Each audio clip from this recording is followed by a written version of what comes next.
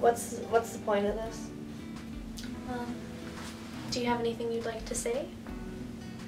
No, I really don't. If you don't feel like talking about anything right now, that's okay. I'd like to spend time with you.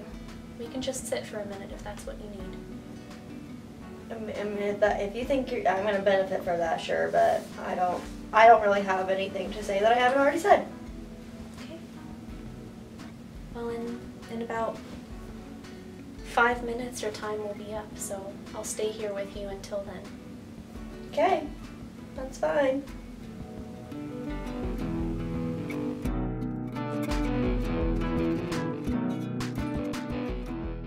Okay, so this is the one where the patient says that they don't want to talk.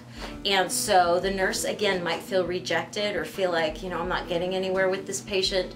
But the thing is that you're, you might be tested by the patient. So you should commit to the time that you said you were going to spend with them.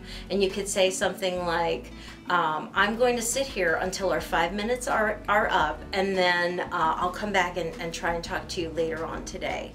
So this gives the patient the opportunity to understand that the nurse means what he or she says and that they are back on time consistently. And it also gives the patient time between visits to assess how he or she feels and what they may think about the nurse and perhaps might feel less threatened by the nurse.